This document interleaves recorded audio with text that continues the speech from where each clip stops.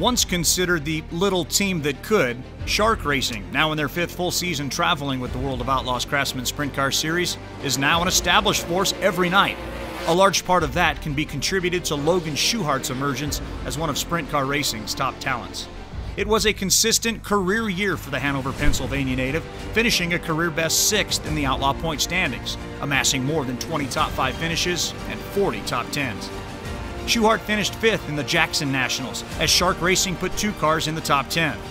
Logan then broke through at Federated Auto Parts Raceway at I 55 with a prestigious Ironman 55 victory worth $20,000 before qualifying for his third consecutive Knoxville Nationals with the win on Friday night.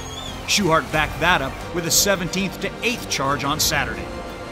Schuchart's on track efforts, combined with his mature and fan friendly off track demeanor, attracted Drydene Performance as a corporate sponsor for 2018 and going forward. Schuchart continued his consistent efforts with a top 10 in the Williams Grove National Open before dominating Fulton Speedway for his second win of the season during Super Dirt Week. Logan Schuchart and Shark Racing have improved each and every year on the road with the Outlaws, and the future looks extremely bright for Bobby Allen's boys.